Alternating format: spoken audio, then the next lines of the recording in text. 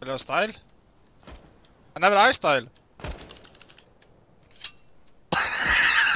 Dit so, mand! Det Hvad er det?